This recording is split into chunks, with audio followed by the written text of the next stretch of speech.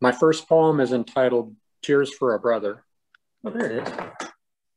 Many things about us were not the same.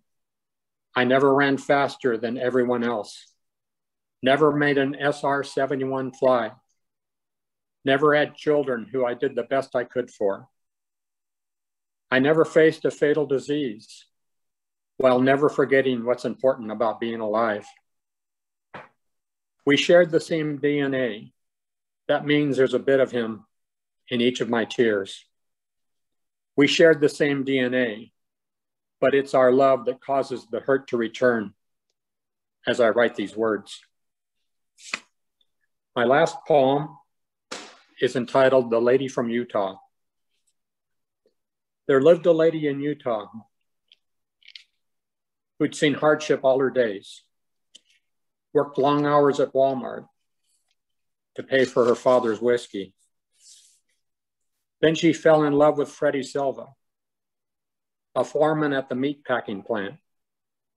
Soon she knew a baby was on the way and made plans for her wedding day. Her angry father to his daughter came. Stop seeing that Mexican, he screamed. Even if you load your shotgun, she said, I will not forsake Freddie Silva she found one of her seven sisters to carry the tidings to her betrothed. Tell him I'll love him all my life and tell him to find another wife. Her drunk father waited for her as she drove by on the way to work, fired three shells into the windshield, and used the fourth to kill himself. When the graveside service ended, her sisters wandered away in a daze while Freddie Silva whispered, Aquí estoy, mi amor. I'm here, my love.